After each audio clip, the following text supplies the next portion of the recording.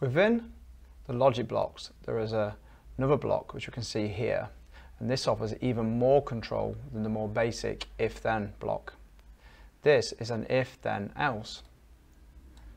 So what can happen here is, if a condition is true, then we can execute the blocks here, else we can execute the blocks that are placed just here.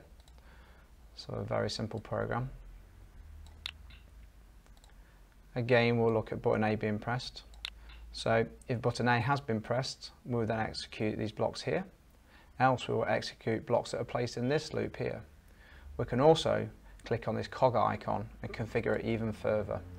So we could then have, for instance, another else if. So we then build up to this command here. So now we have a if button A is pressed, then do this. Else if, we can have another condition, we do this, and if none of those are true, then we would execute code placed here. Let's try this out. So for the second input test, what we'll do is we'll have button B. And let's make some things happen. So let's add some icons. We've got a heart. Here we'll have a tick. And then lastly, we'll choose a cross. So now when this executes, so it keeps going around this forever loop and then when it comes in here, the first test is, is button A pressed? If it is, then we'll put a heart on the screen. Else, if button B is pressed, we'll have a tick.